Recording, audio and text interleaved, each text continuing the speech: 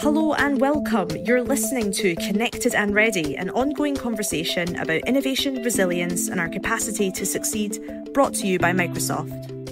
I'm Gemma Milne. I'm a technology journalist and author, and I'm going to be exploring trends around how companies are adapting to a disrupted world and preparing for tomorrow. We're going to speak to the innovators who are bringing products, operations, and people together in new ways.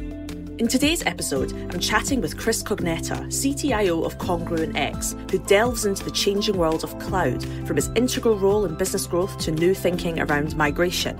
Using real world examples, we'll discuss proven ways of aligning technology and operations to improve customer experience and business outcomes, and also explore how business leaders can secure competitive advantage through thoughtful, strategic implementation. Before we start, I want to thank all of you listeners out there. If you have a topic or a person you'd love to hear on the show, please send us an email at connectedandready at microsoft.com. We're so thankful for you all. Now, on with the episode. Chris, thank you so much for coming and joining us on the show today. Let's start with some introductions. Tell us a little bit about your background and your current role. Hey, Gemma. Uh, my name is Chris Cognetta. I'm the CTIO of Congruent X. Uh, I've been one of your Microsoft Dynamics 365 business solution MVPs for about nine years right now. But uh, my current role is helping Congruent X both develop products and lead the company from a technology perspective for our clients. Amazing. So tell us a little bit more about Congruent X, or sorry, Congruent X. I think in, in Britain we say congruent. tell us a little bit more about Congruent X. What's the company's mission and what pain points does it solve? Yeah, and a funny part about the congruent is actually in our title where it's people and technologies aligned. That's where the name came from.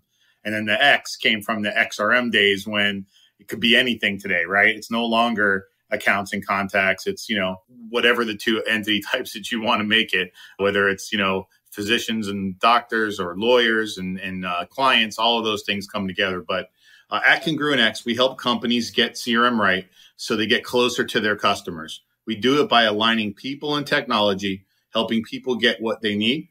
And we make it easy and enjoyable in an easy to use subscription instead of a big bang project approach. Incredible. So today we're going to be talking a little bit about, um, or we're going to be talking a lot about cloud and the details of cloud and, and kind of how that intersects with the mission of Congruent X. Um, but before we do that, let's talk a little bit about the sort of current state of cloud. We all know the pandemic has accelerated digital transformation and specifically with cloud migration. But what other dramatic shifts are you seeing and, and what's sort of fueling them in the world of cloud today? Definitely the pandemic accelerated the motion from a customer's expectations. You know, they had a lot of expectation of you being on site um, from a client perspective, and now working from home has become okay. So that makes it a lot different in the world of travel and expenses, as well as the size of companies. At home, people can get anything they want by talking to their phone, car, house, all in context. And at work, though, you still have this monolithic, one size fits all type of application. So when you look at that from um, customer expectations, you can really change that, especially with Power Apps, and have unique customer experience. So those things have changed in how we look at cloud and what its capabilities are by shifting from the monolithic apps to these, I would say, department focused or persona focused solutions. So let's dive into that a bit further. I mean, obviously, there's lots have been said about the benefits of cloud from a computing standpoint, and you've kind of touched a little bit, I guess, on the, the sort of cultural standpoint. But could you share a little bit about why it makes business sense? You know, how does it create competitive advantage or improve customer experience, like you were touching on earlier? Yeah, back in the day, you know, when you start a company, you had a, a huge investment in servers and infrastructure and resources to build that. You know, it was very common for people to spend fifty, sixty thousand dollars on a very small mom and pop shop just to get them up and running. But today, it taking a credit card and about 15 minutes of setup and now here you are you're live you, you know you have your dynamics platform setting up there you can get your exchange set up and you can really have a full blown system that another company it basically gives you an unfair advantage the fact that it's sitting in the cloud, the fact that you don't need resources to monitor it and back it up, and that you can focus and improve your CX. And really, that's the goal. It's changing people from talking about technology to people talking about the business problem. And that's what we do at Congruent X. We're focused on the outcome, not on the technology. So the outcome may be 10% of sales increase over the next three months, right? How are we going to do that?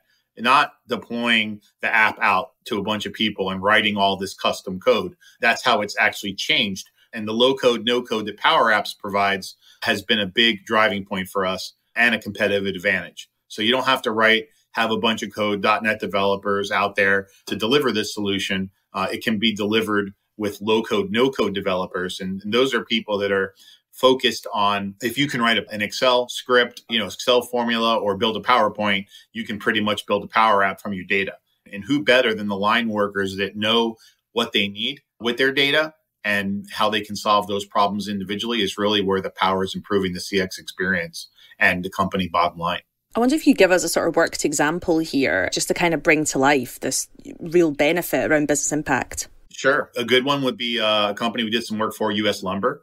Their problem was because of the pandemic, a lot of the logistics of their shipping was delayed. So their goal is shipping out different pieces of lumber, you know, and it's all kinds of moldings. And, you know, they basically sell, if you walk down the Home Depot aisle of the wood, you know, they probably own 50, 60% of that. But the problem was, is that they did not know when things were going to be delayed. And the sales team would go on site, the support team would go on site, and they would be bombarded with questions. And from a tech perspective, they didn't want to open up a laptop, sit there, get a connect. Sometimes they're in rural areas. So they would use a telephone and call back to their sales team and tie another resource up to try to ask, hey, where is this item? So we already knew where the information is. It already existed in the back office. So we built them a custom power app called Win the Yard. And this power app brings that 360 degree view of that customer and client right in front of that person. So before they even go on site, they can know the statuses of where all their stuff is, things that have been delayed, the last conversations they've had, what are the top things that they ordered, and they can get an instant refresh before even going on site. And it's real time. So if something new or something is broken, like for instance, a piece of wood may be broken or somebody cut a piece off, they only needed a little piece, they need to return that so they can use the camera right in the Power App and create a RMA on the fly. In the past, they'd have to take that piece of wood back, do a whole bunch of paperwork, uh, sometimes even fax it back to corporate. So you can see how much has changed. So now these people are empowered. They have the information at their fingertips. Their clients are very happy that they're able to answer and provide up to date status as well as resolve challenges for them on the fly. Their inside sales team is no longer bothered by those calls coming in. So they're able to focus on their job. So we're getting scale in all of those areas now. And that's a huge step forward and really shows to how these cloud based technologies are really changing. Obviously, I've asked you for an example that kind of showcases the dream or a really successful deployment of cloud. And some companies might then assume that, you know, moving to cloud is going to have instant business impacts. And I think particularly the way that cloud is, is spoken about and written about and marketed is this sort of, you know, all singing, all dancing solution. But what's wrong with that assumption? You know, can you help reframe expectations for anyone that sort of sits in this camp? I think when you look at the cloud and the smart contextual experiences that you can have um, that have come up from the pandemic. Those things are really the examples that are showing what's wrong. In the past, people would fight to go to the cloud. I mean, there were still some companies that are fighting today on the expectation of why would I move to the cloud, my business, all, all these things. Those conversations have ended. A big example I can give you here is we used to have to have a conversation with the CISO about moving to the cloud, uh, as chief security officer. And with Office 365, most of the clients are already on Office 365. So Dynamics and Power Platform and all the exchange capabilities are now built into that. So when I go to the Office 365 tenant, they're already connected. The security conversations already happened. So you get a lot of smiles on the business side saying, hey, we're already connected. We don't have to fight this battle about going to the cloud. We're already there. So it really does reframe an expectation for the people who are struggling with having that conversation with their CISOs when they're already there and they don't know it. Dynamics 365 is helping businesses of all sizes unify their data and create a digital first culture. With next generation ERP and CRM business applications, employees at every level can reason over data, predict trends, and make proactive, more informed decisions. Request a live demo of Dynamics 365 today by following the link in the episode description.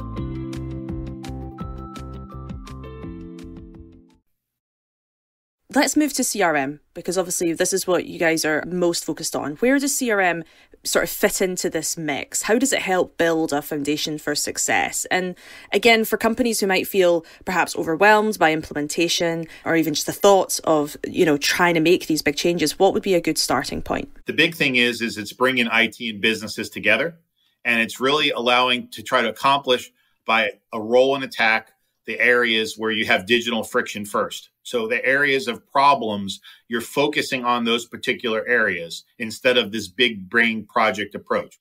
And by making it functional, easy, and enjoyable, the net positive is the scale. So CRM has become the Power Platform and the tools around the Power Platform, whether it's Power BI or Power Automate or Power Apps, uh, whether it's Exchange, whether it's custom features inside of Azure, there's nothing we can't do to help solve that problem. And because they all can talk together and don't have to worry about authentication and the data is now available to show on these different forms, that 360 degree view that we're able to provide is key. And, and CRM really is where this stuff came from. If you were to go back to Dynamics 3 or 4 and look at what CRM was, and then all of a sudden in 2011, 2013, it changed to XRM and they started getting away from it's a customer relationship system. Now it's an X, it can be anything, right? And I was touching on that earlier is the fact that now with Power Platform and Dataverse, you're starting with a system without any entities at all.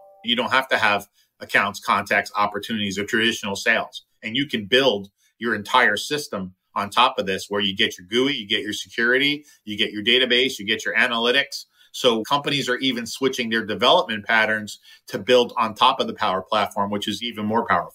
Let's talk a little bit then about how CRM and cloud play together relative to hybrids. It would be great to get another example here from you. I mean, about what sort of hidden opportunities they might unlock in that pairing. When we talk about hybrid, a lot of people will talk about cloud versus on prem and how to make those two things work together. The beauty of it is, is that there's capabilities built into the Microsoft Cloud, like Active Directory Sync, that allow you to keep your security connected to your on prem system. So the same user IDs, the same logons will work from cloud as well as on prem. From an opportunities perspective, what would they unlock? I think it's more of what they don't lock. It's the fact that you're still able to get access to information, still use it with the cloud technologies, and be able to expose it in the cloud it also provides you a roadmap to get to the cloud. So you can move one system at a time. So a lot of times a customer will go to Office 365 first, then they'll add Dynamics, then they'll start using Power Platform, then their ERP system comes, and then the next thing you know is their data warehouse and their analytics. All of those things are shifting in different points, but you don't have to do them all at once. And the ability to have that hybrid model supports that both through the Azure Tech stack and the Power Platform. Let's talk about this from the customer perspective here. I mean, we're talking about CRM, and you know, despite the potential of CRM, both in this discussion now, but also, you know, it's being discussed so much. Many analysts still say that only 50% of customers are happy with their CRM. I wonder if you could give us a little bit of context about, from the customer experience, why that is. Absolutely. Uh, and actually, you'll actually see that tagline on our website. We know that 50% of implementations fail. And why? The main reason is why is because the way people consume information has changed. Just the way that the industry delivers tech, like CRM, is 20 years old. People don't understand that. They're still trying to look at it from a, a relationship and account and contact a relationship, and that's failed in the sales environment. Salespeople don't want to have to ask. A good example of how you can change that mindset is using the technologies that are inside the Power Platform. So when we built that Power App I was describing earlier, one of the problems was looking up their customers, typing in the information. Now you look at this and you say, this is trivial, right? But the phone knows where I'm at. The phone has a GPS capability. It can easily search my customer list and give me the list of customers that are in two blocks. If you go to Google today or Bing today and you type in restaurants near me, don't you get back that response? You do, right? So that's the whole point. CRM's never grown up. It never took those advantages of the technologies that we have today that can do that. So what we do at Congruent X is we take those technologies and apply them to the same problems. And those problems now the person typing in, they don't have to type in. All of a sudden when they're on site, the system knows it's there, the record's already pulled up. It's a different way of using that tech stack to accomplish that and really get adoption out of the system. What's the impact though on the, I guess, the user or the customer of these systems? You know, you talked there a little bit about, I guess, their expectations not being managed well. If they can go and use Google and see this result, it's like, why can't I get this with this system? Is it just frustration or does it go beyond that in terms of their experience of, of work? The frustration gets into the fact of the, that they don't want to use the platform anymore. So you get the people that don't want to put the sales information in there because they're not getting anything out of it. What is it doing for me?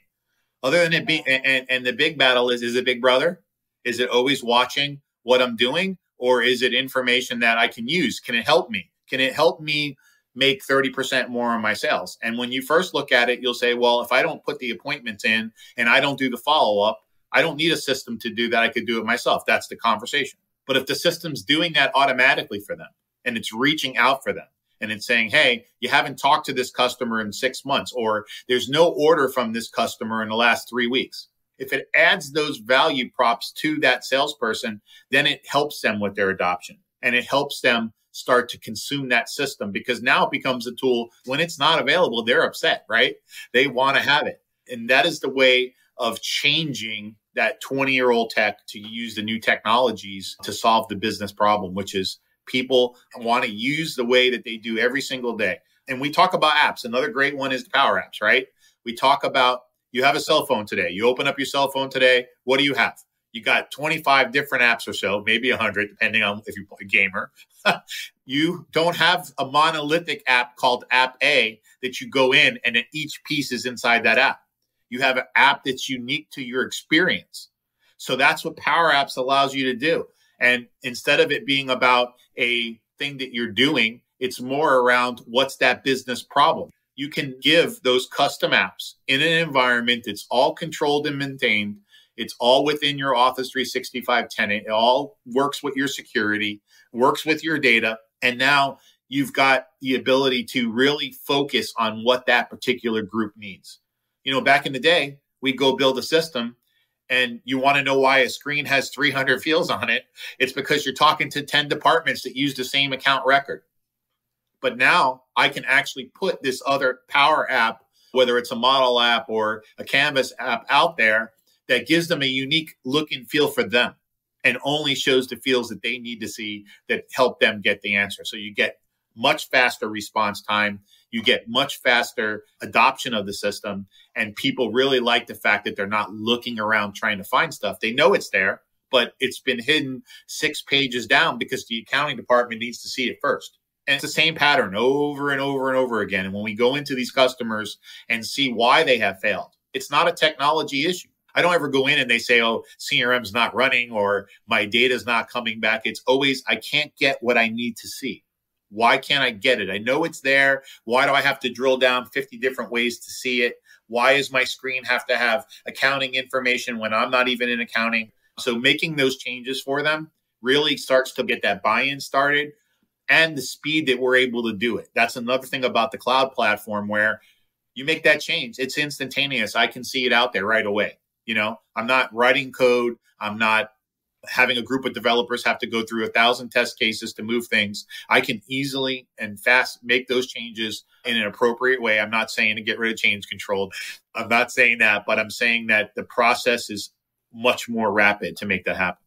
You mentioned earlier this idea of, you know, CRM hasn't grown up and, and your own CEO of, of Congruent X, Chuck Ingram, he said the way software is being implemented hasn't changed in 20 years. I guess so it's a, a similar sentiment. But can you tell us a little bit about what did he really mean by that and what is needed to break the cycle? You know, with whom does that start? And it really is the whole big project methodology, right? You start off with this big project with a thousand features for users to consume in this one size fits all experience. It doesn't work People don't want to do CRM. Salespeople want to get a prospect. They want to get ready for calls. They want to make calls. They want to create and deliver proposals and do forecasts. That's it. They're not into the whole other aspects of the platform. So when you try to do this big bang project that goes off and covers every aspect of the business, by the time you get through your requirements, it's probably changed.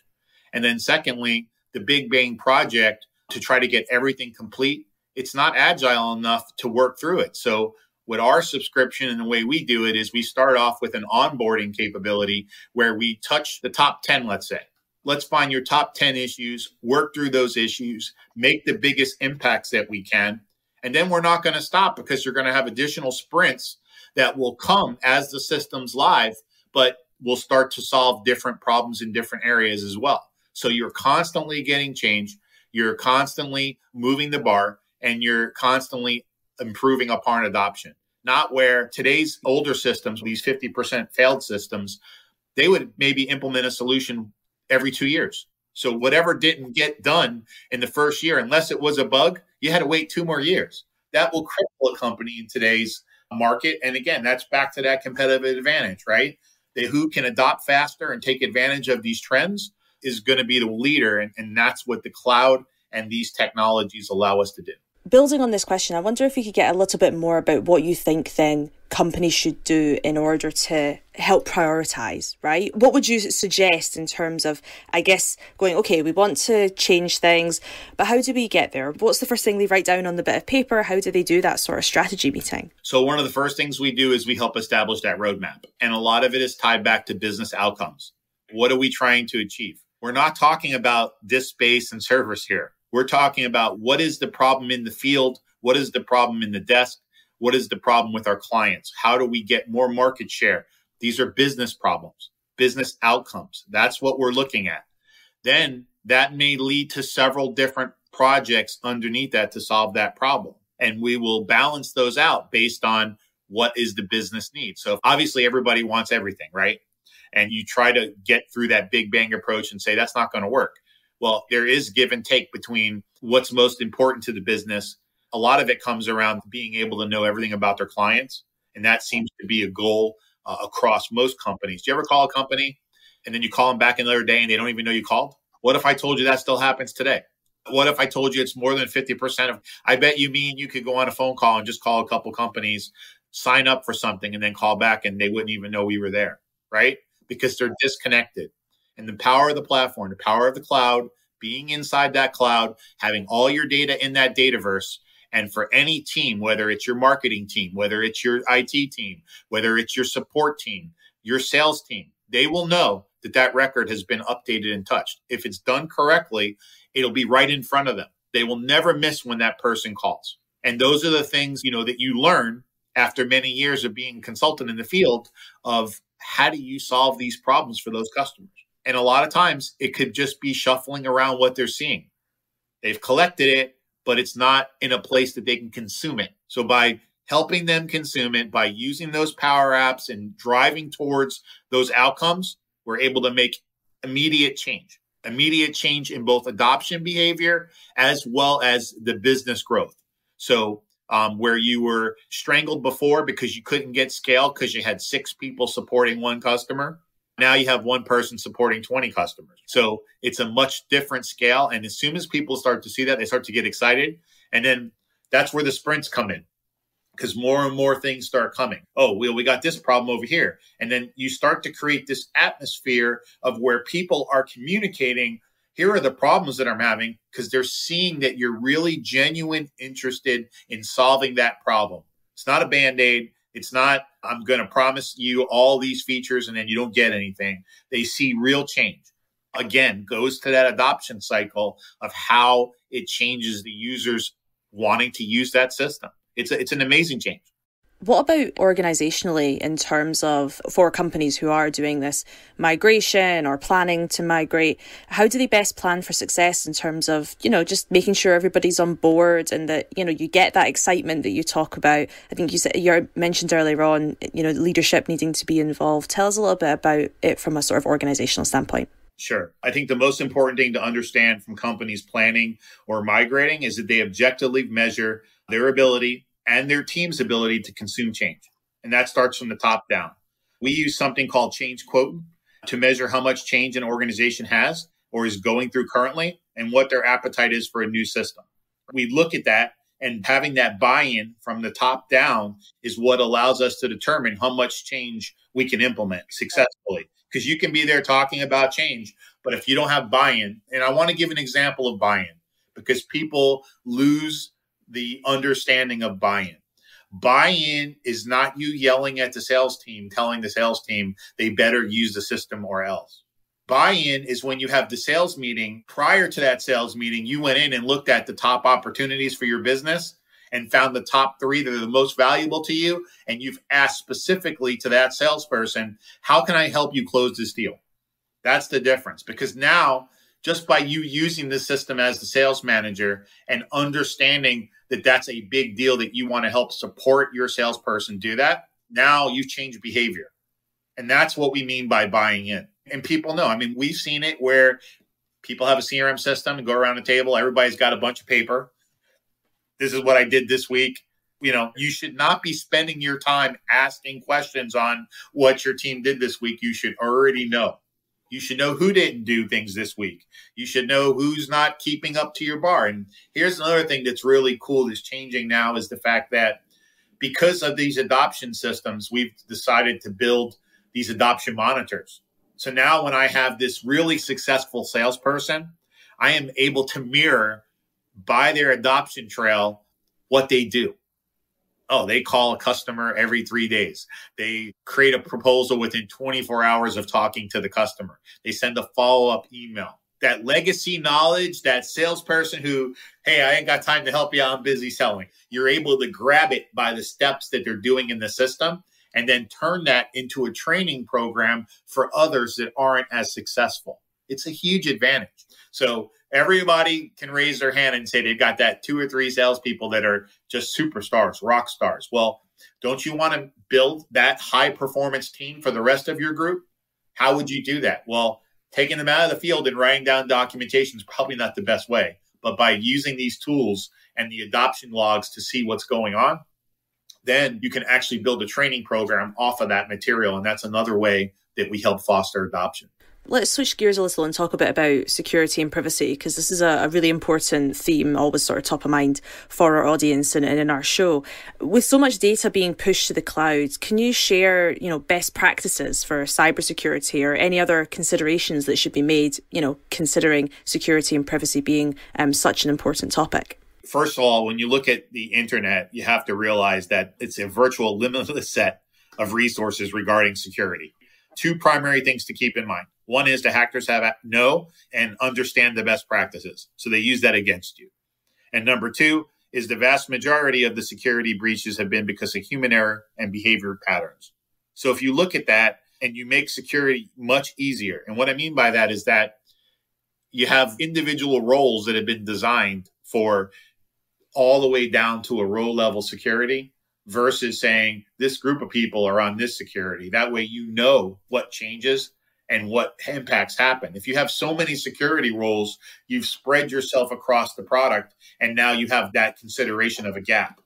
The other thing is is by going the cloud and this is another part of the whole sales speech to CISOs is the fact that you cannot build the security systems that Microsoft has in place the dollars invested in that security, both monitoring, proactive, reactive, industry trends. All of these things are constantly being monitored 24 7, 365. You're not going to be able to build that type of environment in your own data center and be successful at it without risk. Sure, people have done it. Uh, I've seen people do it for a while and they limit things like, you know, well, only these certain IP addresses can come into our infrastructure. That's why that's a common thing. But to truly be a cloud based company where that your services are tradable back and forth through web services, you can't lock that stuff down. So you got to have intelligence, whether it's AI, whether it's the monitors at all the different endpoints and the edges to take care of this. That is what you're buying when you move to these cloud based SaaS solutions.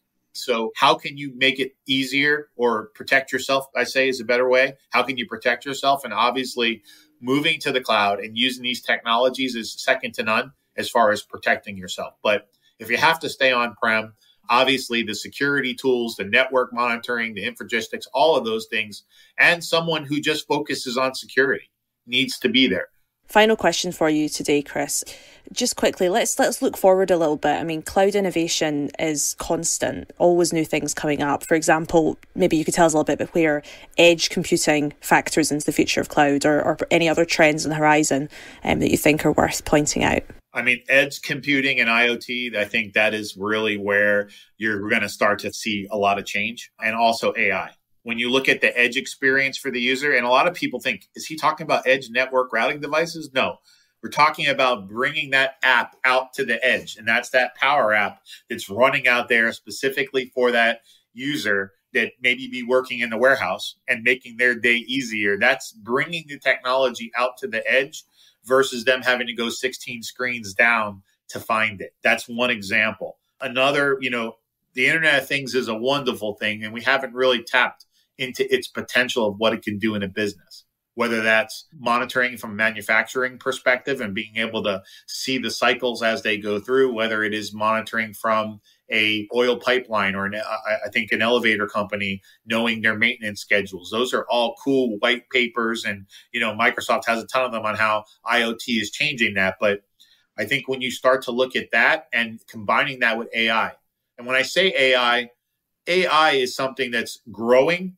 Um, but people don't understand how much it takes to actually make an AI model and the skill set needed to deliver that.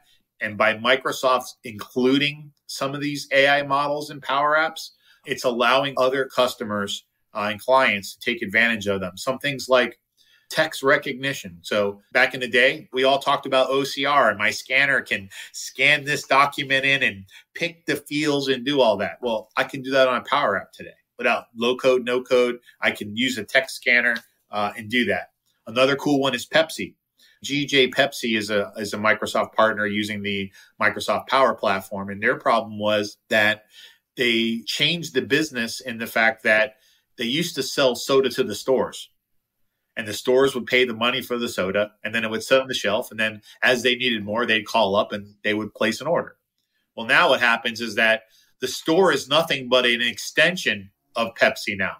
So that shelf area there that the soda's on Pepsi's responsible for putting those bottles there. They're responsible for counting that inventory and keeping it clean. The stocker of the store is not touching any of that. They get paid when a bottle leaves, is how it's flipped. So if you think about those drivers that are coming out and they have to go and count all the sodas on the shelf and do inventory to know what they're going to need, they used the Power App with some AI for object detection that went in, grabbed pictures of two liter bottles, six pack sodas. You can think about all the different sodas and automatically counts it for them. Pretty cool stuff.